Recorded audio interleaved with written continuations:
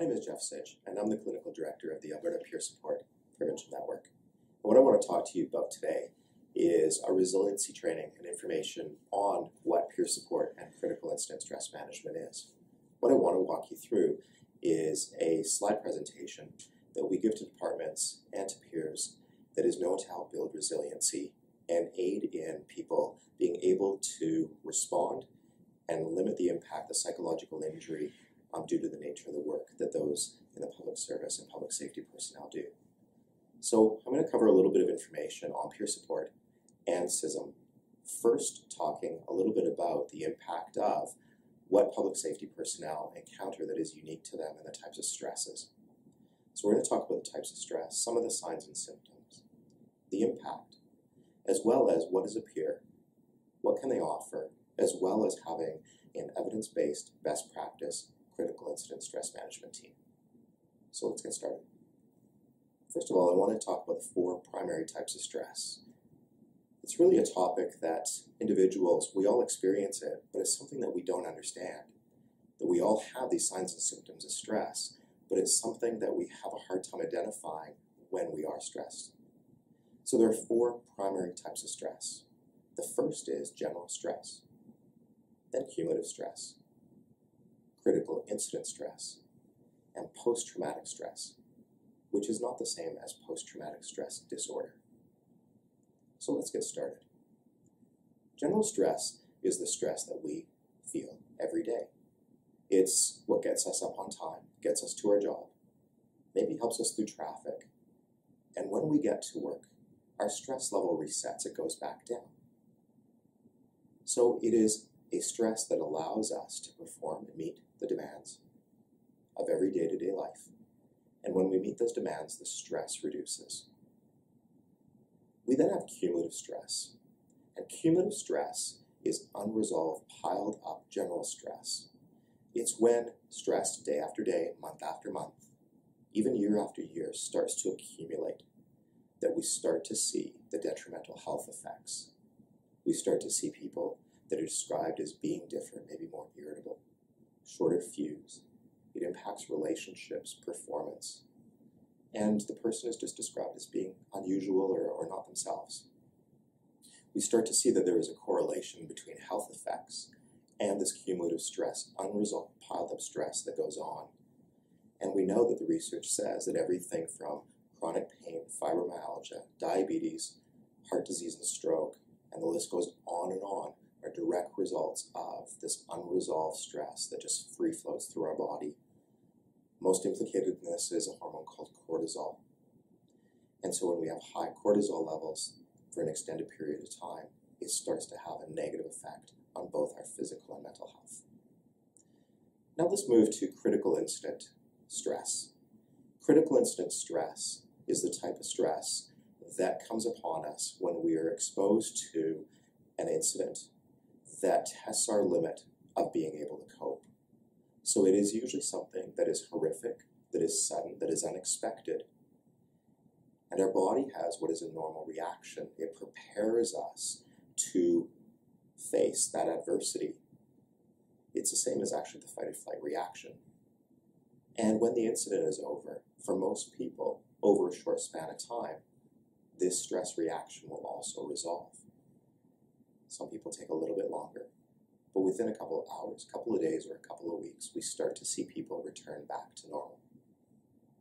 And the final topic in our stress review is post traumatic stress. Again, not the same as post traumatic stress disorder. So, what I want to reiterate with this, what's really important, is that post traumatic stress is a normal reaction to an abnormal event. It is when we get exposed to traumatic events our body is, is actually wired to respond in a very specific way. What our brain does is it focuses on the danger at hand. It eliminates distractions. It actually prepares our body to get away from the danger or to fight the danger.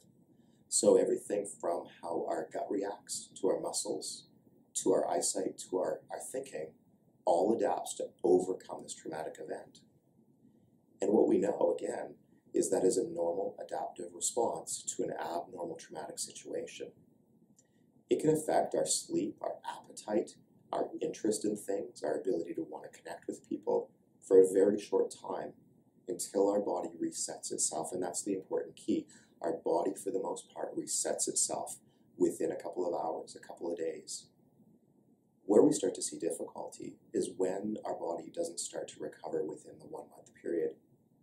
So, when we have a normal reaction to an abnormal event, where something gets in the way of us being able to respond, that is when post traumatic stress becomes post traumatic stress disorder. But we'll do another video on that at a different time. The next slide I want to present is the general adaptation stress slide. And I want to describe to you what is unique about public safety personnel and the job and the level of stress. You'll notice that in the center of the slide is a blue line. And what that blue line represents is the amount of stress that the normal average person needs to have in order to accomplish either work goals, family goals, household goals. It's what sort of keeps us upright, keeps us awake, and keeps us functioning. But that's not where public safety personnel operate. What happens is when a tour starts, or for those that are paid on call, when you're living with either your app, your pager, your cell phone that could possibly go off, your level of stress actually is more at the yellow line. It's at that escalated level that allows you that when the tones go off, when the pager goes off, when your responding app goes off, you're able to get up, get out of the house, get out of bed, change what you're doing to respond to that call, that incident. Now, what we know is that most people in public safety, they stay at this high level, the yellow level, through the whole time that they are on shift, on call, or prepared to respond. And only at the end of their tour, their shift, or should you turn off your pager, cell phone, or responding app, then we start to see your normal level of stress reduce down, down towards a normal level. But here's where the problem lies. When you go off shift, having sustained that level of stress to be active and activated, you go into a state of exhaustion. You go from a higher state of arousal to a state of exhaustion so that your body can rebuild. Unfortunately, this takes four days. Most people in public safety personnel either work four days on, four days off, or some variation where they don't have more than maybe that four days off. Or for those that are paid on call, you never turn off your app, your cell phone, your pager. And so you live at that yellow line the entire time you are waiting or ready to respond. Well, this causes the same medical effects, psychological effects, as sort of that sustained high level of stress. Those cortisol hormones are running through your body. They're creating a lot of injury and illness. They have the potential for that. And unfortunately, the rest time between doesn't help individuals return to the blue line, the healthy line. So now that we understand this general adaptation stress response, what I want to move into is some of the effects of stress. So this slide here talks about the impact after a critical incident or a crisis. Before a crisis happens, we largely are driven by what we think, and our emotions come out of that. But when we experience a critical incident or a crisis or post traumatic stress, what happens is there's a disruption where we are largely emotion driven and it is hard to think. So, once again, we go from being thought driven individuals to being, after a crisis, largely emotion driven. And it can be very, very difficult to think. This is where people, after a crisis, have a hard time being able to reconnect with their normal, healthy, adaptive coping strategies. They can't think their way into what to do, even if they, prior to the crisis, had that or knew what to do for it. So we see this disruption occur, and it can happen to anybody. It doesn't it's not a sign of weakness. It's actually just a sign of being human. It is inevitable, and it's actually something that is not controllable. So we have to prepare for what can we do when we see these disruptions. This is what we call resiliency training. The next slide is I want to talk a little bit about the connection between exposure to a critical incident or a crisis when the psychological impact happens, meaning that our emotions go high and our thinking goes down, the next thing that we start to see is performance decline.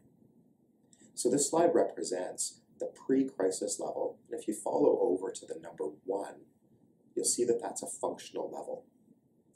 Well, what happens is at that point of impact, see where that what red line is in that dot? What happens is when we are exposed to a crisis or a critical incident, because of the disruption in our thinking and our emotions, it's hard to know what to do to get through that difficult time, that crisis period that's shown on the graph. And what we see individuals do is we see them through trial and error trying to cope and get through the impact of this crisis. Some with more success, some with less success. And it can take anywhere from a few minutes to a few hours, maybe a few days. In some cases, it can take a few months and it can actually be career ending. But the good news is we know how to intervene, either before a crisis to build that resistance and resiliency, and immediately afterwards to help individuals either return back up to that functioning level, meaning that they don't get stuck, or what we now know can occur is actually having something that is akin to an improved level of functioning that's now called post traumatic growth. What that means is if we are functioning that we are impacted by a critical incident or a crisis, and that we are helped either through ourselves or maybe by peer support to find actions and or behaviors that help us get through the crisis. It provides an inoculative effect in the future, meaning it protects us from future crisis and future critical incidents by having sort of this reserve of knowing what to do next time. So now that we've talked about performance, let's talk about what happens. And so on this slide, we talk about crisis reaction. And when people are exposed to critical incidents or traumatic stress, what we know is the majority of individuals will experience some level of stress. It may be uncomfortable, but it's not disabling. It doesn't impact their ability to cope or function. That's probably about 90% of individual. They feel the effects of stress, but the effects of stress does not impair them probably about 8 to 9% of individuals who have been exposed to stress, critical incident, or traumatic event will feel the effects of distress. This is a heightened level of stress that starts to impact the person's ability to think and perform effectively. While they are not impaired and they may be able or seemingly appear to be able to function, these are the people that are, that are in that danger zone. They're in that danger zone that they may get stuck and or the symptoms may get worse. And this is the population that peers and a critical incident stress management team are trained to target and to help. So to be clear, for those in the green, those experiencing crisis, we get out of their way, they're doing well, they're coping effectively, they might be impacted, but they need very, very little other than maybe a check-in. The band in yellow, which are the people that are distressed, those are the people that we want to assess. We want to offer some sort of support and guidance to help them connect to their normal coping strategies. And then the final group in the red, this is probably 1% to 2% of those that have been exposed to a critical incident or crisis. And these people are demonstrating a level of impairment or symptoms that are at a level that they require more formal mental health or medical support the peer's role in this case, or anybody's role, is to link these individuals to those that are trained professionally to help address the symptoms that they're having. And these are usually pretty extreme symptoms. Can't really miss them. So let's move on now to the signs and symptoms of stress. There's five domains, as we call it, meaning that when humans are exposed, including public safety personnel, to stress, it emerges in five domains. So the first one is stress changes the way we think, so we call that the cognitive domain. So people become more confused. Maybe ability to concentrate goes down. Our attention span is limited. We have a tough time problem solving. Some people might even have some nightmares, disruptions in memory, inability to calculate, and decision making. Maybe they're just more indecisive than they normally would. Time distortions, can also uh, be evident, meaning that people are unable to sort of assess sort of the time or length of time. And then also they can become a little bit more suspicious, maybe even paranoid. So those are the cognitive symptoms that we look for in people showing signs of distress. As I said to you before, our emotions get disrupted, meaning they become more heightened. And so we start to see some of the emotional signs and symptoms of stress as being emotional shock, sadness or grief, maybe a level of apprehension, anger and irritability are really common as well, and a sense of sort of being overwhelmed, unable to cope, anxiety, fear, maybe even phobic reactions, avoiding certain things that might remind individuals of some of the triggers, and then maybe some guilt, remorse. So those are the emotional signs and symptoms. You can have one, you can have more than one, or you can have all of them. Now, where a lot of people misattribute some of these symptoms of stress is the physical aspect. More and more people will describe themselves as either having a flu or cold or feeling unwell. They might seek medical attention for it, and after exhaustive uh, testing, they might be told there's nothing wrong with you. So, what we know is many of these signs and symptoms I'm about to go over can be misattributed to other things. So, we see people really struggling sort of with thirst. They always feel dehydrated. Stress is dehydrating. Fatigue, never feeling that you sort of get a good night's rest, or even during the day, just a level of fatigue that's unusual. Uh, sort of a sense of headache, sort of this pressure in your head. We see changes in heart rate. Usually, people's heart is racing a little bit more and a feeling of sort of shock throughout the system. We see stomach upset, a lot of GI distress. And again, remember the fight or flight response. Gut sort of empties and changes. And a lot of people can say, well, I feel like I've got the flu or maybe I've got a cold. We see this, this sweating that has nothing to do with the environment. So you're sweating not because it's a hot day, but you're sweating because your system is sort of activated. Maybe muscle tremors and chills. Sounds a lot like the flu or cold, and that's what often people will say they have. But really, what they're having is a stress reaction. There's some really good things that we can do to help reduce these. The next category is the behavioral signs and symptoms.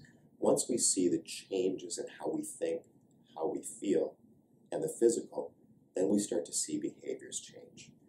We see those that are stressed, finding it hard to be around people, so we, they withdraw. Maybe they normally come to the lunchroom but you sort of see them hanging out by themselves, eating their lunch alone, or maybe being more isolated. Maybe there's a level of pacing, that sort of that sense of agitation where they're walking it off. They can't sort of slow down or rest. Uh, that they struggle to communicate effectively, maybe struggling for words or, or even just contributing meaning, meaningfully to a conversation. It's a sense of sort of being hyper alert to the environment, always being on edge, some people describe it as and maybe some more erratic movements or behaviors, less sort of coordination. Some people might also start numbing themselves using alcohol, drugs, internet, gambling.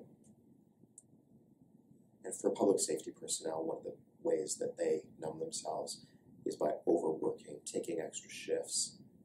They never rest because their mind takes over, so they keep their body in motion by working harder changes in appetite, changes in eating patterns. With stress, we see that people might crave carbs, they might crave salt, unhealthy things. We might see people that eat more, but we also see people starting to eat less. So any change in sort of eating habits, and then also changes in, uh, in activity levels. People that are stressed feel more fatigued, less motivation, and so maybe they're not enjoying or, or engaging in those activities, those walks, those organized sports that they normally would do, or even playing with the kids. Now that we've covered this, the types of stress, how stress affects us, and the signs and symptoms of stress, in public safety personnel, we actually know that there's certain conditions that if they exist at an incident, they're more likely to cause a crisis reaction what this allows us to do is be proactive. Not in that we automatically deploy and go and provide support, but that we prepare people in advance and then we check in with people afterwards to see if they've had an impact. It's an important aspect of resiliency resistance training and CISM peer support. So let's talk about what these factors might be. I'm going to go through each one of them separately because it's really important. So the first one is suddenness. But when I talk to public safety personnel, they sort of say, well, the tone goes off and everything is sudden. That's not the factor that we're really talking about here. Maybe the, the word that's more appropriate is something unexpected. You go to a call or you deploy out, and maybe something unusual happens, maybe something unexpected happens. That can increase the chances of that incident having a stress reaction or a crisis effect on personnel. The intensity. Maybe it's uh, a difference between a house fire and a block on fire, a house on fire versus apartment fire. Duration. The longer that a person is deployed working in public safety on scene, the level of stress is higher for longer and it can be difficult to sort of reset that and bring it down. So, duration of a call. The level of loss. I often say the difference between a motor vehicle accident with one fatality versus several fatalities, or the size and scope in a community. Age. We most commonly hear that really the impact on public safety personnel is responding to calls involving children. It's absolutely true. However, when you think about it from a personal perspective, if you have a family member, maybe an elderly parent or a relative who's going through maybe a degenerative type of disease, maybe uh, dementia or, or a cancer, and you're called to the person who's the same gender, same age, with the same disease, then making that relationship with the age can also increase the vulnerability to this causing a crisis reaction in you. I think the next one with goes without saying, in our communities within Alberta, it is not uncommon that our public safety personnel are responding to neighbors, friends, co-workers, family. Injury, death to relatives, friends, co-workers, family increases the vulnerability of the crisis reaction. Availability of resources. There's really two aspects to this. One is if that you are deployed to an incident and you don't have the resources, maybe it's equipment failure, maybe it's even a slight delay due to uh, navigation error or an address error, that can increase the vulnerability to a crisis reaction. But maybe it also has to do with you're going through a very difficult or stressful time in your life. Think about some of the what, what are the most stressful times. Getting married, purchasing a house, having kids, on and on and on, even retirement. And maybe your reserve level, maybe your personal resources to cope with stress is really low. And you deploy out to an incident already having a lot of stress in your life. Well, that can increase your vulnerability to this call that normally would not affect you, having an impact on you. It's not a sign of weakness, it's just, again, a sign of being human. Level of loss in training. Know that new recruits, people that are maybe on their first call, their first tour, that maybe go to their first scene, maybe a fatality or something intense, there's an increased vulnerability of that incident causing a crisis reaction. So we have actually special training for new recruits in some departments, and we'd encourage you to consider that in your department if that's the case. Preparing them for what they see, but also having a routine check-in on new recruits, people first, um, first tour, first couple of tours. I'm not going to say that this generalizes to students. Um, we're going to do another video on the special um, needs of students. Um, we're not going to cover that in this video, but we're talking about members of departments. And the final one is sort of a catch-all. Any time that there's a personal meaning to an event, it can actually increase our vulnerability to a crisis reaction. Most commonly what I hear is pulled up to a scene and it's the same color, make, model, car is somebody that you know even though in your mind you know it's not that person, your brain makes a link that connects it to something personal. I often hear same car seats as my child, or maybe it's a, a roadway or, or a place where your family friends regularly travel. So anything can't possibly cover all the personal meanings in this short video, but think about the personal meanings. And if you start to notice that you go to a call, and you're starting to make that association to something personal in your life, that could increase your vulnerability to that incident, this call, causing a crisis reaction.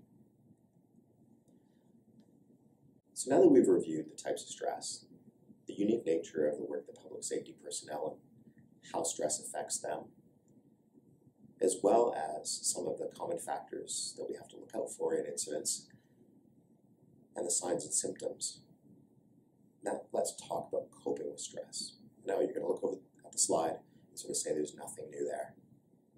Well, it isn't rocket science and actually is quite simple, but remember that after exposure to stress or a critical incident, it's really hard to remember to do these really simple things. We need to be more emphatic and, and more purposeful in doing them.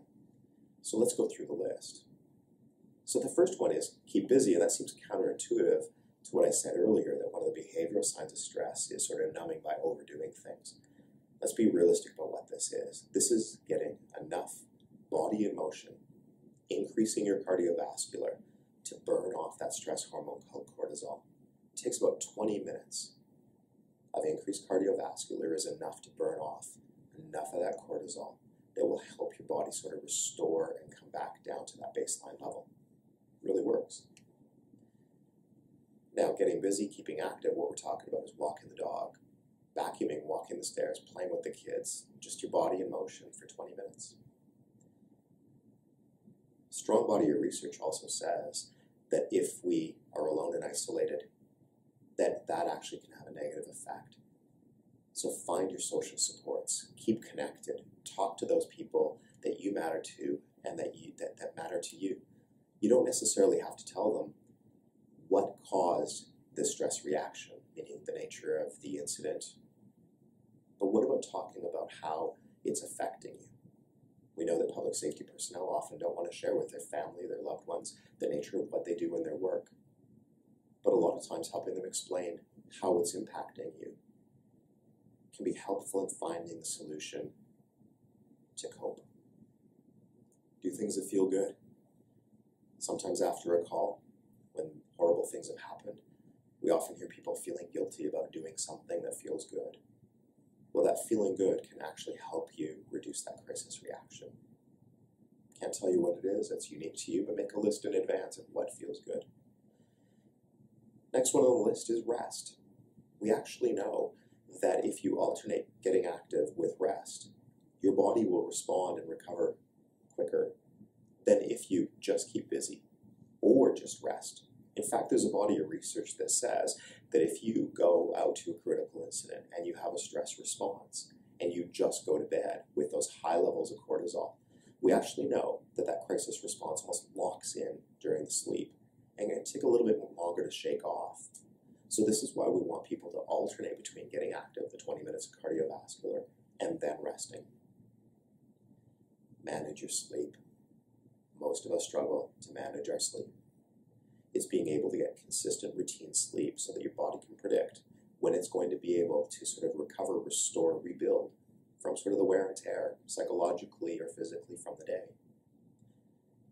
As I mentioned before, stress is dehydrating.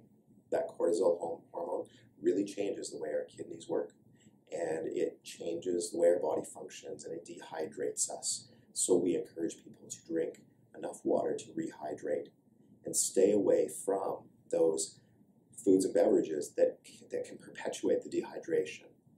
This is alcohol, caffeine, even high salts. Make sure that you're consuming those beverages sort of at the, the normal level that you would have before the stress. We're not telling you not to use them, we're just saying just monitor them so that you're making sure you're replacing the water with water and not something else.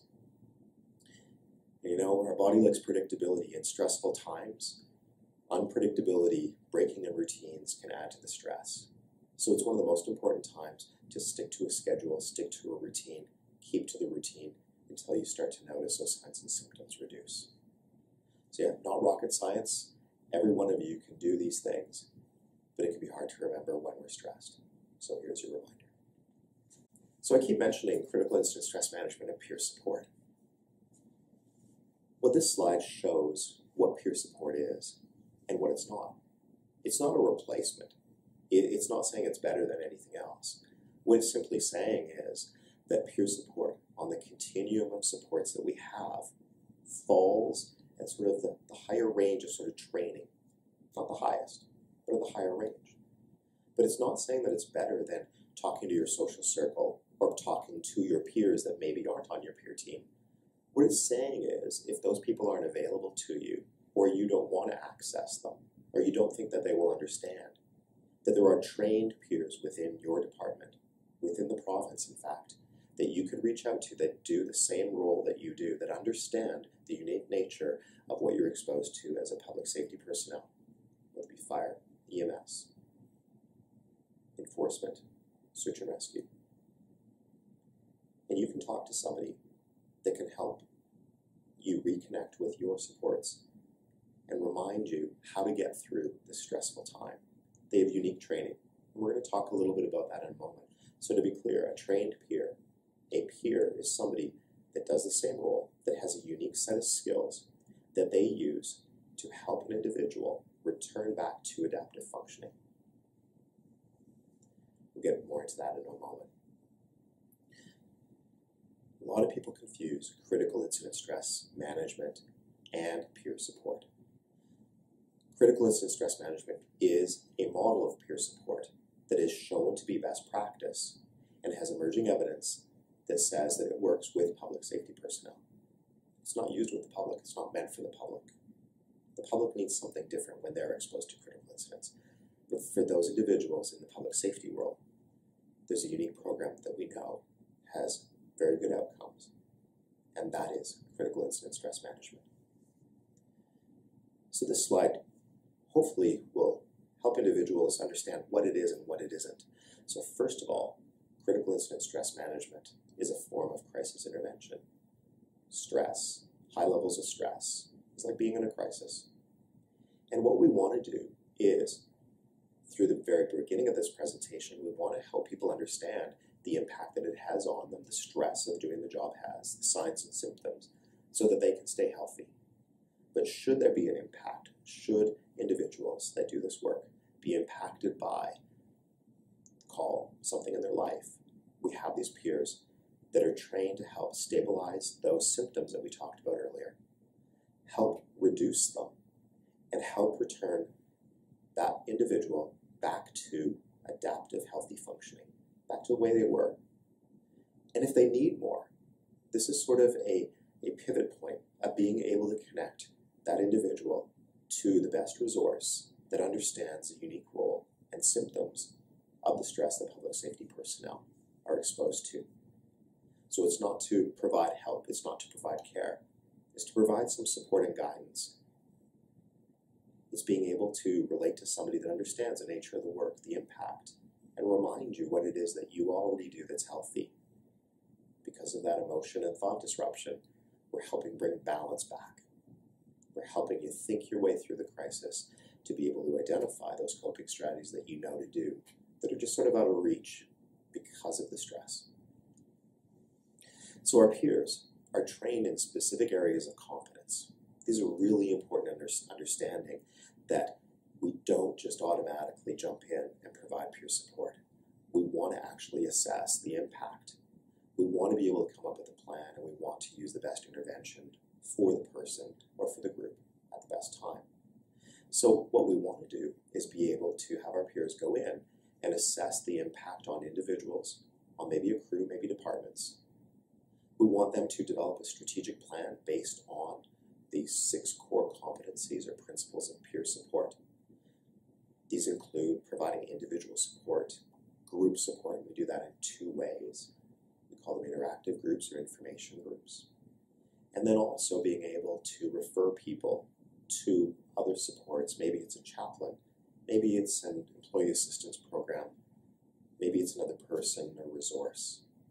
So the peers are trained everything from assessment to referral, knowing what to do with whom when. I want to talk to you a little bit about what this CISM peer support team is.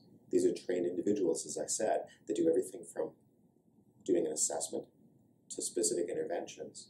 They're people that have been identified by departments as having a level of trust, to be able to maintain confidence, to be able to actually help guide individuals through a crisis so that they can access their own support systems that are knowledgeable in the resources that go beyond peer support so that they can make a referral on if more is needed. They usually operate with the support of management, but they are reportable to management. And this is really important in maintaining confidentiality and building trust of the members of the department to access their peers. It's inherent that the peer to peer relationship should really be one that is focused on the needs of the individual who is exhibiting those signs of stress rather than operational or performance issues that may occur in departments. There's other resources for that, but this isn't one. So, CISM, CISM, peer support, synonymous. I talked to you about it being best practice, evidence based. Well, we have a model. There's 500,000 trained peers in this model throughout the globe. Almost 4,000 organizations, including the United Nations, have adopted the International Critical Incident Stress Foundation model of CISM specific for public safety personnel. And what really we want to emphasize here is that it is not a reaction model, meaning that an incident happens and we respond. That there are six core components of the ICISF CISM model that must be delivered in order to have an effective program and team to be efficient. And one of the most important ones is recognizing that building resistance and resilience is inherent in this model. Johns Hopkins University developed one of the first psychological resistance or psychological body armor programs that a lot of the more modern mental health first aid programs and resiliency trainings are based on. And the author of the ICISF CISM model is the author of that Johns Hopkins Resistance and Resiliency model, and it is built into the training and the model. Unfortunately, it's the most often dropped by departments, but we're trying to encourage people to sort of say this is the start. We need to be able to help people understand the signs and symptoms. And here's a little secret that's why you're watching this video. Much of what we've covered up until now has been the resistance and resiliency training, the mental health first aid, the psychological body armor. Now, what we also want to do is encourage that when a person is impacted, if they are already accessing their own resources, we just stand by and support, but we don't interfere. We don't want to disrupt people who are already engaging in their healthy coping strategies. We want to really be looking for those people, remember in that yellow zone of the triangle, that are showing signs of the distress, of distress, who maybe are struggling to access their own healthy coping strategies. We want to support them reconnecting to that. That is what the ICISF CISM model is. So, it's a peer-led program. It's a peer-managed program. The model requires that the peers be trained and maintained. We sort of say if you come and train for the skills and don't use them, you lose them. And I think that really goes in anything in public service, that there's a requirement for ongoing training, and this is really no different. Some of you might relate to this as being more of a technical team, if you relate to the sort of fire world, or having a unique set of skills that you use in your job. But this really is no different. It involves other support, meaning that the peer is not the only program that should be there. We have departments that include uh, mental health, uh, chaplaincy, and other informal supports. We encourage that to be part of the team. We stress confidentiality. The trust of a team is based on the ability of members in the team to maintain that, that confidentiality. What you say to the peer stays with the peer within those normal bounds confidentiality that we all understand risk to self, risk to others. We like to say the departments can really help this process by having standard operating procedures, making this something normal, talked about, even expected. So we encourage departments to have policies in place that don't automatically cause a type of intervention, but start the assessment phase. A CISM group must be able to do one-to-ones as well as group information, and that all peers should have access to expert consultations, somebody who can help a peer through a, a very stressful time in understanding what might help them get through, but also to be more effective in assessing or assisting the individual who's seeking support. The next slide talks a little bit about key terms. There's a lot of misunderstanding about what a critical incident is. So let's just go through them really quickly. Critical incident stress management. Critical incident is a traumatic experience. that has the potential to overwhelm one's usual coping strategies or the coping strategies of a group of individuals. It's the beginning point for what we call that psychological crisis. Remember the slide where we say that we're thought driven individuals who then our emotions follow. And after a crisis, psychological crisis is where a, that disruption, where our emotions take over and our ability to think goes down. That the critical incident stress is this system escalation, those five areas of symptoms. So our thinking changes, our body changes, our emotion, emotions change, and maybe even our relationship, how we see the world can change. And after a very short period of time, our body will reset and all of those symptoms will come down. The really good news is this that if we have an effective peer support program that builds resistance, that has a resiliency program, that isn't just a response program after a bad thing happens, it has that as well. You will have an effective strategy that reduces the risk of psychological injury in public safety personnel. So let's talk a little bit about when it's appropriate to use peers. Well, key is when the recipient group is specially trained or educated, that they there's a unique culture within the group, that there is uh, they perceive themselves as unique or little understood by other groups or civilians, maybe even a misunderstanding of, of what you do in your work. That there isn't a lot of trust outside the group, and, and it's not trust of harm, it's trust that we don't want to tell people what we do for fear of maybe traumatizing them. But what is key is that this program, and when we use peers, it's not to provide support to civilians or have civilians provide support to public safety personnel. It is literally a peer to peer, the relationship pe- between people that do the same thing. That's when we use peers. As I said to you, there are six core components and we have more than just one type of intervention. I hear over and over again that people use this word debriefing. That is not what CISM peer support is. It is only one aspect. It is the least often done aspect of peer support.